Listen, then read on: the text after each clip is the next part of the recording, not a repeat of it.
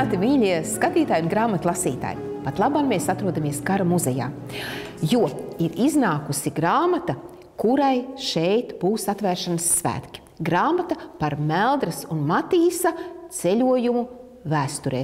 Brīnumains ceļojums, kurā piedalās pats grāmatas autors Jānis Udris, kurš ir uzrakstījis vairākas vēsturiskas grāmatas, un viņa divi mazbērni un suns.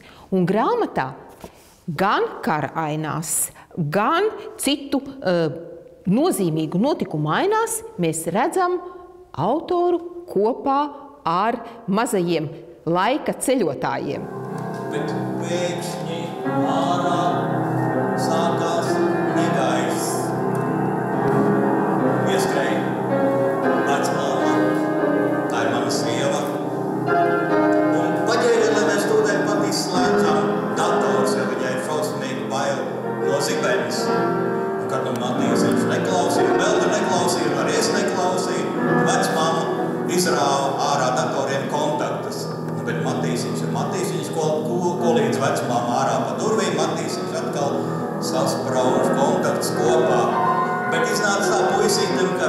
viņš sasprauda savu datoru ar laika spēlēm, ar vēstur, vēstures grāmatas failiem.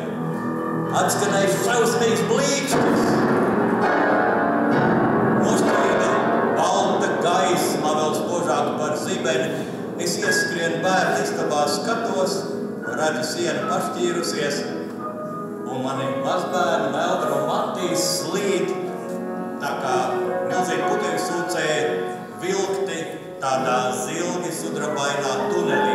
Es metos pakaļ neko vēl nesaprastams, siena jau atkal pļāvās kopā un pēdējā brīdī man līdz izlec Kenta, mums uzticamais suns.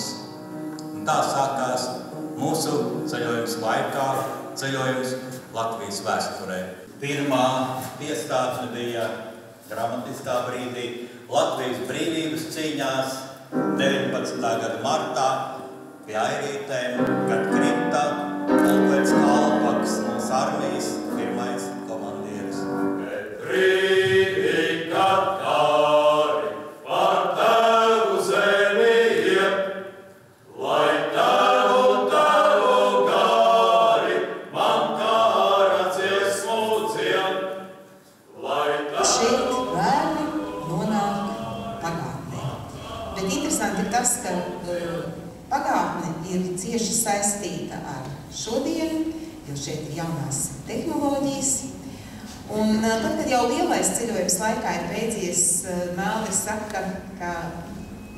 žēl, ka no pagātnes neko nevar paņemt līdzi. Bet izrādās jau, ka tā nav patiesībā jau mēs ļoti daudz ko paņemam no pagātnes, gan materiāli, gan nemateriāli. Un, um, jā, Jānis Udrs bija uh, ļoti, ļoti aizrautīgs um, un ar šo grāmatas ideju, man liekas, viņš bija pārņemts. Viņš pats var pateikt, vai vairāk kā ar ideju par, par uh, Ulmaņa grāmatu. Bet man ir kā izdevēja arī jā, jāatzīmē un uh, pozitīvi jāvērtē milzīgā atbildības sajūta. Milzīgā atbildības sajūta grāmatas tapšanas laikā. Laikam, ka tā ir liela atbildība, bet eh, man vienmēr dzīvē ir gribējies būt vai nu augstam, vai karstam, ja tos remdenos vēlns izspļauj. Un, eh, un man visvairāk būtu žēl, ja mūsu jaunā paudze augtu tīzli.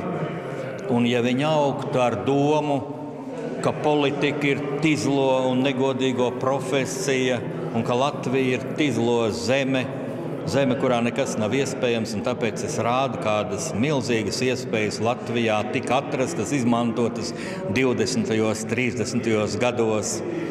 Un es gribu, lai jauno latviešu paudzi dzīvo pilnvērtīgu dzīvi, ja mēs nerādām viņiem visu Latvijas vēsturi un visus kolosālos sasniegumus, kādi mums ir bijuši, un visu mūsu kareivju varonību brīvības cīņās, tad viņi tiešām var nodomāt, ka mēs esam vārguļu nācija. Un to es vienkārši negribu. Arī tādēļ, ka šī grāmata ļoti personiski, jo es šeit darbojos ar saviem īstajiem mazbērniem. Un es viņiem esmu stāstījis Latvijas vēsturi, redzējis, kā viņi to burtiski uzsūc. Un tad es sapratu, ka tas ir vajadzīgs arī citiem pusauģiem. Tāda fantāzija tomēr pie šiem reāliem faktiem, kā jūs iespējat to savienot. Nu, man jau saka, vai nu traks vai ģēnijs.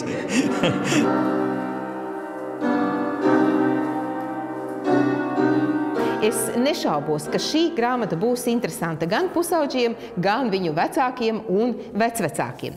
Bet tagad mums ir laiks, kā jau es solīju iepriekšējā raidījumā, atkal doties uz ķīpselā notikušo uh, grāmatu izstādi, lai uh, palūkotos vēl uz vienu jaunu grāmatu. Un tā ir Gundegas Repšas vīrs, tapīrs un citas radības, kuras atvēršanas svētki bija šajā izstādē. Grāmata ir ļoti interesanti vizuāli noformēta, bet arī saturā ir intriga. Jo um, cilvēka spoguļi šajā grāmatā ir dzīvnieki. Kas var būt svarīgāks par to, ka tu paņem rokā vienalga, vai viņi ir nodrukāti, vai viņi ir elektroniski, un, un tu vari papriecāties, un tu vienkārši neviļas sāc just, ka tu smaidi. Droši vien kāds impulss tomēr bija, kas lika tev uh, sēsties un rakstīt tieši šo darbu. Redz, vispār pagāju, visu pagājušo gadu jau man bija tāda sajūta, ka es vairs nevaru izturēt dzīvošanu pilnīgi agresīvā, naidīgā, intrigām pārpilnā, tādā militarizētā, garīgajā atmosfērā, kāda Latvijā bija ieviesusies, un, un ka es arī nevaru tādā atmosfērā nekā normālu uz priekšu radīt, ka vienkārši viss ir tik naidīgs, un ko es varētu tagad jau citos kontekstos pieminot jēdzienu viegli, ka es arī gribētu kaut ko viegli un pašai priekš sevis, nu tā kā skaisti vai smeldzīgi vai kaut kā nu, grūti šos jēdzienus tā, viņi tik nobanalizēti. Bet nu, radīt kaut ko nu, jā, skaistu, jo es skaidri zināju, ka šī nebūs tā reize, kad es gribētu apcerēt lopiskumu cilvēkā, kas pats par sevi ir arī viens ļoti interesants aspekts, teiksim, meklēt, meklējot tās līdzības vai atšķirības, vai kā, kā arī nekādu simbolismu, nekādu tādu it kā turēties, turēties pie tā saucamās dzīves īstenības un manas bērnības pieredzes.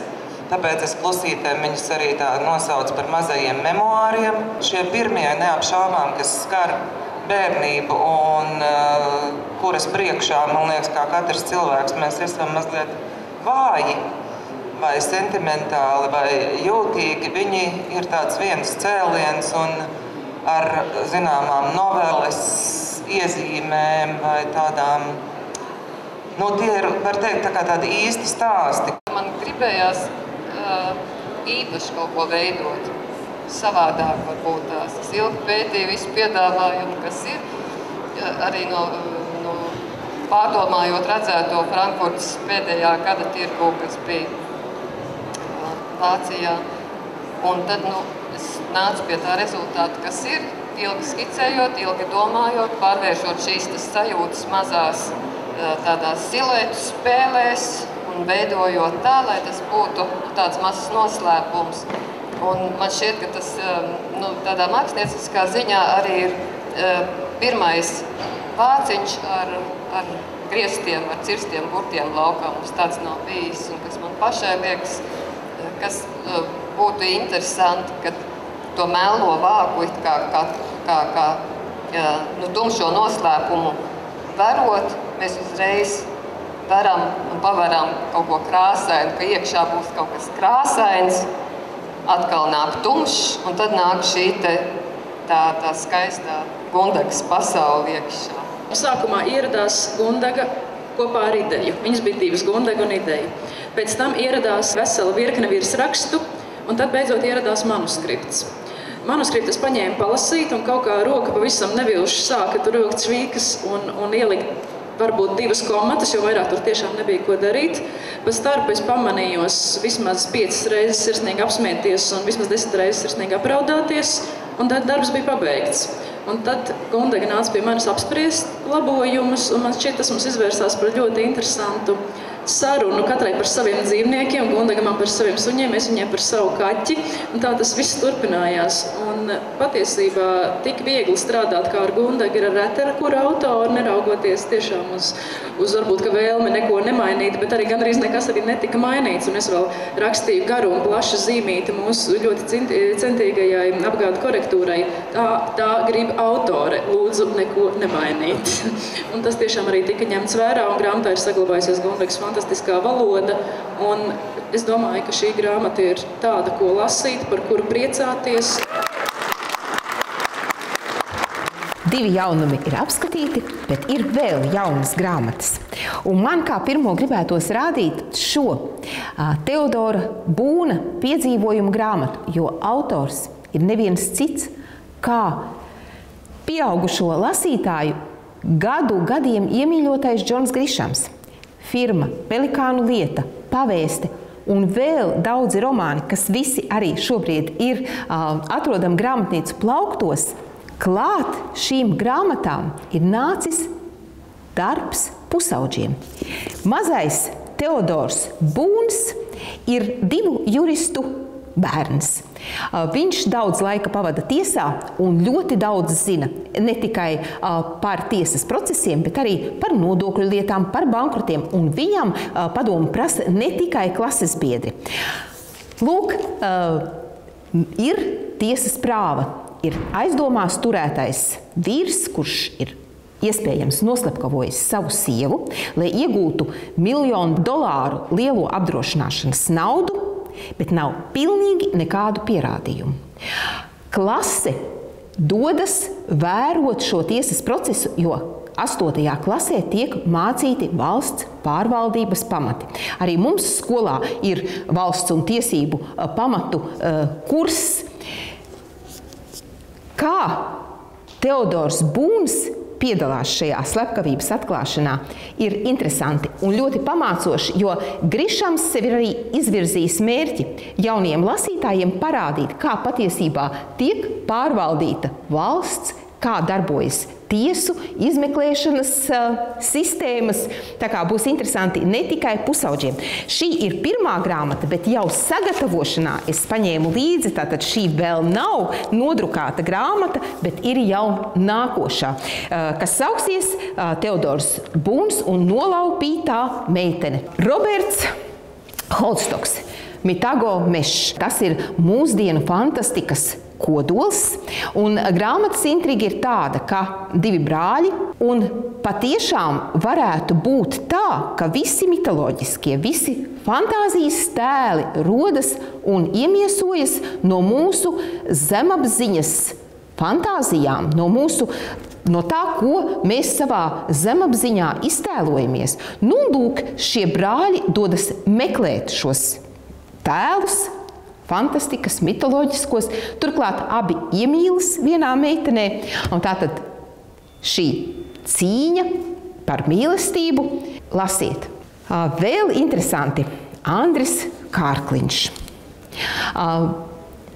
Flamenko, pasaules pilsonis, čigāni, turistu grupas ļoti daudzi cilvēki Latvijā pazīst Andriu Kārkliņu, un tie, kuri nepazīst, viņu var iepazīt uh, caur šīm uh, haikām, caur šo grāmatiņu. Nākamā grāmata. Tādu mēs šobrīd izdodam pirmo uh, krāsojama grāmata Pasaules ornamenti. Uh, šādas grāmatas būs vairākas. Ar šiem smalkajiem darbiņiem, ar uzdevumiem,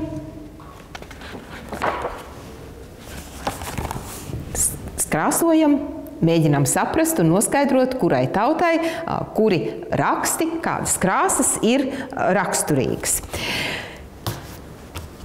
Tūkstots uzlīmes. Nu, tāda ļoti apjomīga un jāsaka, vērtīga grāmata. Jo jūs taču zinat, ka viena pati maza uzlīmju plāksnīte veikalā jau maksā teju latu. Tātad šeit ir ļoti, ļoti daudz uzlīmes ir um, sakārtotas uzlīmes uh, pa tēmām, uh, uzlīmes ir numurētas, un te mēs varam veikt arī daudzus praktiskus darbus, vienkārši Man liekas, ka tāda ļoti jauka un vērtīga dāvaniņa. Un uzņēmēja palīgs. Latvijas Republikas nodokļi un uh, grāmatvedības pamati, lietvedības pamati šādā vienā laminētā špikerī. Uh, man vienmēr atverot liekas interesantas tās tabuliņas, kur ir uh, par nodokļiem, cik maksā darba devējs, cik maksā uh, pats uh, darba ņēmējs, jeb darbinieks. Uh, ir arī um, tie varianti, kad uh, ir apgādājamais, kad apgādājumā nav vai kad ir invaliditāte.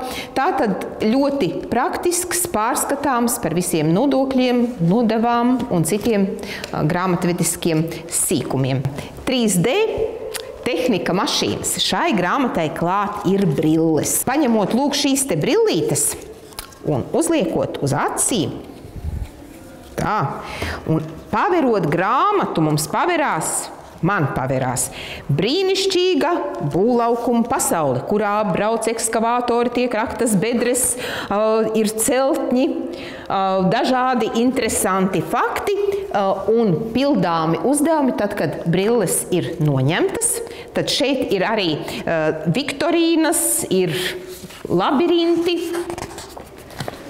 un dažni dažādi citi uzdevumi, kā arī grāmatai. Ir pievienotas daudzas uzlīmes. Vēl no 18. marta sākas jauna akcija. Pērkot grāmatas, jūs krāsiet zīmodziņus un saņemsiet dažādas balvas. Un kā lielākā un vērtīgākā gala balva būs Ceļojums uz Stokholmu ar Tallink. Nākamais raidījums mums būs tieši pirms lieldienām. Arī jaunumos mums ir lieldienu darbi krāsojama grāmatiņa ar dažādiem uzdevumiem - olas, zaķi, bērni krāsu, bet ir taču arī jāparunā par lieldienu dziļāko jēgu. Tāpēc mēs studijā aicināsim Juri Rubeni, un viņš runās ar mums par lieldienām un arī par grāmatu ar intriģējošu nosaukumu Enneagramma.